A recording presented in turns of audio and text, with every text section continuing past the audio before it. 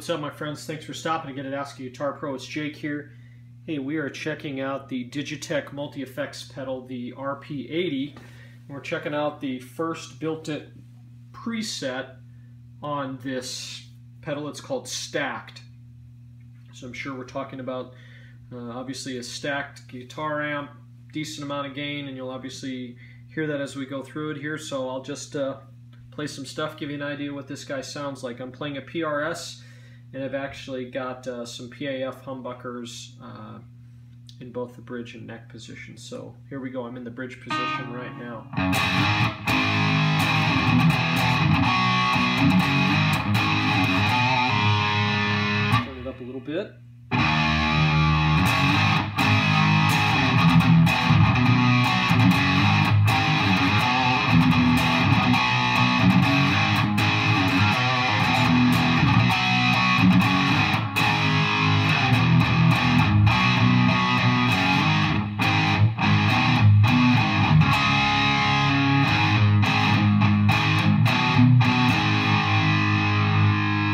Definitely a, a plenty of gain.